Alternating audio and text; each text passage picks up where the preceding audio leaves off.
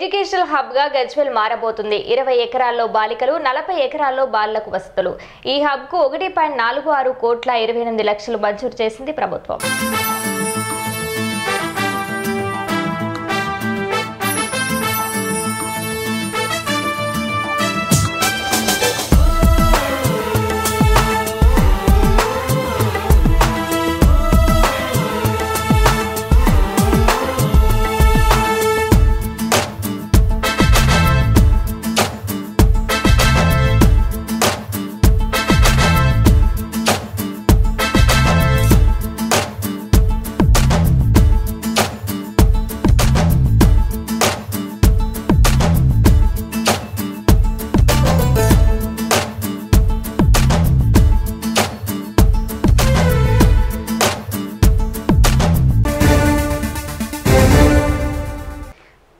సిద్దిపేట జిల్లా ఉస్నాబాద్లో మాజీ ప్రధాని దివంగత పివి నరసింహారావు జయంతి వేడుకలను కాంగ్రెస్ పార్టీ ఆధ్వర్యంలో ఘనంగా నిర్వహించారు. స్థానిక అంబేద్కర్ చౌరస్తాలో కాంగ్రెస్ నాయకులు పివి చిత్రపటానికి పూలమాలలు వేసి నివాళులర్పించారు. వారు పరిస్థితిలో ఉన్న సందర్భంగా అభివృద్ధి కొరకు కొత్త ప్రణాళికలు ప్రణాళికలు రచించి కష్టకాలంలో బయటి దేశాలలో అప్పు పుట్టలేని పరిస్థితి ఉన్నటువంటి అభివృద్ధిలోకి తీసుకొచ్చినటువంటి పరిస్థితి తీసుకొచ్చిన మన్మోహన్ సింగ్. ఆర్థిక మంత్రిగా పివి షా ప్రధానమంత్రిగా ఉండి గట్టెక్కించినటువంటి పరిస్థితులు భారత భారతదేశాన్ని. అటువంటి వ్యక్తి మన ప్రాంత వాసి అయినందుకు మేమందరం గర్వపడుతున్నాము. ఎన్నడూ కూడా ఒక మాట కూడా పొరపాటున కూడా వారి నోటించలు రాలేదు. దాన్ని ఆదర్శంగా తీసుకుని రాజకీయాలు కూడా ఆదర్శవంతంగా ఉండాలి మంచి భాషతో ఉండాలి. మరి ఇప్పుడు నడిచేటువంటి భాష కానీ ఇప్పుడు సంస్కృతి కానీ ఇప్పుడు కక్ష చర్యలు కానీ చూస్తూ ఉంటాంటే అసలు ఇది వీళ్ళు నాయకులేనా అసలు? నాయకత్వ లక్షణాలు వీళ్ళకు ఉన్నాయా? లేకపోతే ఒక గుండాకున్నటువంటి లక్షణాలు ఉన్నాయా? అక్కడ కేంద్రంలో కానీ ఇక్కడ రాష్ట్రంలో కానీ ఒక్కసారి వాళ్ళు ఒక పీవీ గారికి వాళ్ళ డెవలప్మెంట్ చేస్తాను వారి ఉత్సవాలు చేస్తాను అని చెప్పి చెప్పుకుంటా ఉన్నారు. ఇప్పుడు అసంపూర్తి ఉన్నటువంటి భవనాలు అక్కడ కనబడతా ఉన్నాయి. పేరుగా చెప్పుకోవడం. ఒక మనిషికి నివాళులు అర్పించడం అంటే వాళ్ళకు ఉన్నటువంటి మంచి గుణాలను మనం ఆ జాడలో మనం నడుచుకుంటూ వాళ్ళ ఆదర్శంగా ఆదర్శంగా ఆచరణ కట్టినప్పుడే తప్ప ఈ వచ్చి పేరుకు చేయడం కాదు ఇది. ఆ విజ్ఞత నేర్చుకోవాలని చెప్పి నేను కోరుకుంటున్నా. టీవీ బిడ్డను ఏదో రాజ్యసభ సీట్ ఇచ్చి ఎమ్మెల్సీ సీట్ ఇచ్చి తర్వాత ఈ మధ్యకాలంలో టీవీ అంటే టీవీ అని అంటాను మరి ముప్పై ఇయ్యాలే పేపర్లో రాసేది. ముప్పై ఐదు కోట్ల ఇచ్చి వందలకి ఏం చేయలేదని. అంటే కేవలం అవసరాలకు వా- వాగ్దానాలకు నినాదాలకే కాదు. ఏది అనడానికి ఒక నేషనలిస్ట్ ఒక జాతీయవాది ఆయనకుండే మూడు వేల ఎకరాలలో పదిహేడు వందల ఎకరాలు దానం చేసింది మొత్తం గారు భారతదేశంలో ఎంతైతే కమ్యూనిస్టు కొట్లాడిరో వాళ్ళ నినాదం భూ సంస్కారాలు ఏదైతున్నదో ఆయన భూమిని ఏడు వందల ఎకరాలు పంచి చూపించిన ఒక ధీరుడు. తెప్పించి నూతన ఆర్థిక సరళీకరణ ప్రభుత్వ పాఠశాలల సమగ్ర అభివృద్ధికి మౌలిక వసతుల పెరుగుదల లక్ష్యంగా రాష్ట్ర ప్రభుత్వం మన ఊరు మనబడి కార్యక్రమాన్ని చేపట్టిందని ప్రధాన ఉపాధ్యాయులు రాజిరెడ్డి అన్నారు. సిద్దిపేట జిల్లా మిరుదొడ్డి మండల కేంద్రంలోని మంగళవారం తొలి విడత మన ఊరు మనబడి కార్యక్రమాన్ని ప్రారంభించారు.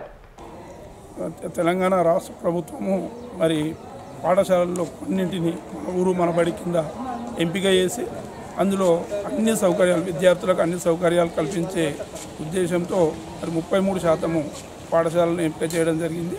అందులో మా పాఠశాల ఎంపిక కావడం చాలా సంతోషం.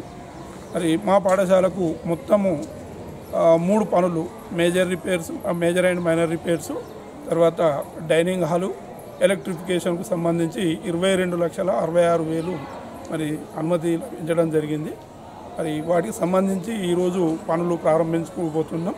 మరి ఇప్పుడే డైనింగ్ హాల్కు సంబంధించి ముగ్గు పోయడం జరిగింది. అట్లాగే మైనర్ మేజర్ రిపేర్స్ వర్క్ కూడా స్టార్ట్ అయింది. ఎలక్ట్రిఫికేషన్ కూడా ఈరోజు వర్క్ స్టార్ట్ కాబోతుంది. మరి తొందరలోనే మరి పనులన్నీ కంప్లీట్ చేసి ఖచ్చితంగా నాణ్యతతో కూడినటువంటి పనులు చేయించి మరి విద్యార్థులకు త్వరలోనే అందుబాటులోకి వచ్చే విధంగా చూస్తామని చెప్పేసి ఈ సందర్భంగా తెలియజేస్తాం తొమ్మిదో విడత రైతు బంధు అందిస్తున్న ముఖ్యమంత్రి కేసీఆర్ చిత్రపటానికి రైతుల సమక్షంలో జరిగిన పూలాభిషేకం కార్యక్రమంలో సత్తుపల్లి శాసనసభ్యులు సండ్రా వెంకట వీరయ్య పాల్గొన్నారు. ఈ రోజు నుంచి తొమ్మిదో విడత రైతు బంధు నిధులు విడుదలవుతున్న సందర్భంగా సత్తుపల్లి నియోజకవర్గ రైతాంగం తరఫున కృతజ్ఞతలు తెలియజేస్తూ పెనుబలి మండలంలో ఈరోజు వారికి కృతజ్ఞతగా పూర్వకంగా పుష్పాభిషేకం చేసే కార్యక్రమం ఏర్పాటు చేయడం జరిగింది.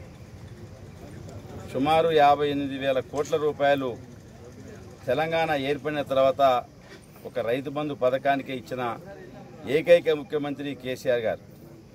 కేంద్ర ప్రభుత్వం యొక్క సహకారం లేకపోయినా కేంద్ర బీజేపీ ప్రభుత్వం ఎన్ని ఆటంకాలు కుట్రలు కుతంత్రాలు చేసినా నూతనంగా ఏర్పడిన తెలంగాణకు భరోసా ఇవ్వాల్సిన కేంద్రం ఇవ్వకపోయినా ఆత్మగౌరవంతో ఏర్పడిన యొక్క తెలంగాణలో కేసీఆర్ గారి నాయకత్వంలో వ్యవసాయం పండగ చేయాలని ఒక గొప్ప సంకల్పంతో వ్యవసాయ రంగానికి పెద్దపీట వేయాలని చెప్పి ఈరోజు తొమ్మిది విడతల్లో రైతు బంధు పథకాన్ని వేసిన ఏకైక ముఖ్యమంత్రి కేసీఆర్ గారు. ఉచిత విద్యుత్కి పదివేల కోట్ల రూపాయల పైన ఇప్పటివరకు అయింది ప్రాజెక్టులకు లక్షల కోట్ల రూపాయలు పెట్టి వ్యవసాయ రంగానికి పెద్దపీట వేసిన ఏకైక ముఖ్యమంత్రి కేసీఆర్ గారు. ఈరోజు తెలంగాణలో మరి పథకాలు చేపడుతున్న రైతులకు సంబంధించిన పథకాలు భారతదేశంలో ఏ రాష్ట్రంలో కూడా లేవు.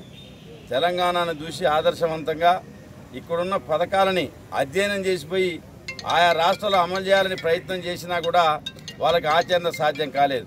అయినా మాట ఇచ్చిన ముఖ్యమంత్రి ఎన్ని ఆర్థిక ఇబ్బందులున్నా కొన్ని కార్యక్రమాలు ఆపైనా రైతులకు సంబంధించిన ఏ ఒక్క కార్యక్రమాన్ని కూడా ఆపకుండా ఈరోజు రైతు బంధు పథకాన్ని అమలు చేస్తున్న ముఖ్యమంత్రి కేసీఆర్ గారని చెప్పి ఈ సందర్భంగా తెలియజేస్తూ యావత్ రైతాంగం గుర్తుంచుకోవాల్సిన అవసరం ఉన్నది.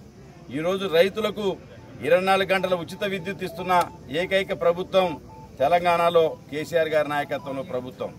అదేవిధంగా కాళేశ్వరంతో పాటుగా ఖమ్మం జిల్లాకు మరి పది లక్షల ఎకరాలకు సాగునీళ్ళు అందించే సీతారామ సాగర్ ప్రాజెక్టును కానివ్వండి అంటే వెనకబడిన మహబూబ్నగర్ జిల్లాకు అక్కడ పాలమూరుకు సంబంధించిన ప్రాజెక్టులు కానీ నీటిపారుదల రంగానికి పెద్దపీట వేసిన ప్రభుత్వం కేసీఆర్ గారి నాయకత్వంలో ప్రభుత్వం. అదేవిధంగా కుంట భూమున్న ఆక మరి ఏ విధమైన మరణం సంభవించినా ఆ యొక్క రైతు కుటుంబాలు రోడ్డు మీద పడకూడదని చెప్పి రైతు బీమా కల్పించిన ప్రభుత్వం కేసీఆర్ గారి నాయకత్వంలో ప్రభుత్వం. ఈరోజు మిషన్ మరి కాకతీయని ఏర్పాటు చేసి ఎప్పుడో కాకతీయుల కాలం నాటి చెరువులను కుంటలను పూడిక తీసి అవి కూడా జలకళ సంతరించుకునే విధంగా చేసిన ఏకైక ప్రభుత్వం కేసీఆర్ గారి నాయకత్వంలో ప్రభుత్వం. భారతదేశంలోనే రైతులు పండించిన పంటను కొనుగోలు చేసిన ప్రభుత్వం. ఇలా ఎఫ్సిఐ మరి ఫుడ్ కార్పొరేషన్ ఆఫ్ ఇండియా ఆహార ధాన్యాల యొక్క కొనుగోలు బాధ్యత నుంచి విస్మరించి ఈరోజు తెలంగాణ ముద్దుబిడ్డ భారత మాజీ ప్రధాని పివి నరసింహారావు నూట ఒకటవ జయంతి సందర్భంగా సత్తుపల్లి శాసనసభ్యులు సండ్ర వెంకట వీరయ్య నివాళులర్పించారు.